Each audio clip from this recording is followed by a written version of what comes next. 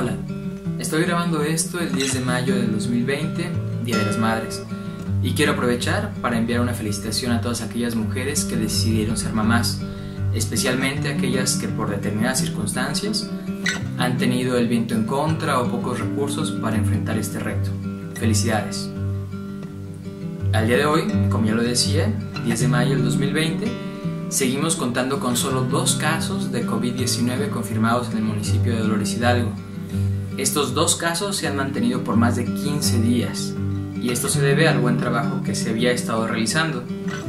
Lamentablemente, la natural, el natural deseo de celebración con nuestras mamás ha hecho que algunas personas tomen malas decisiones.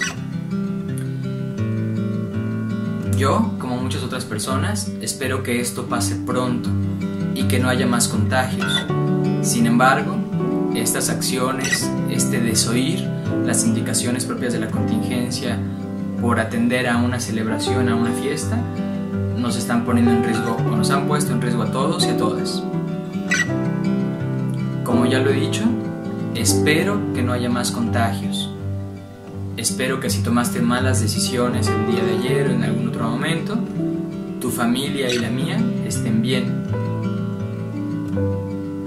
Es importante también tener en cuenta que estos efectos que tengamos en las próximas semanas, que el resto del tiempo que queda en este mes de mayo, las próximas dos o tres semanas, lo que ocurra respecto a los casos de contagio tendrá que ver en buena medida con las acciones que se realizaron el 10 de mayo para la celebración de Día de las Madres.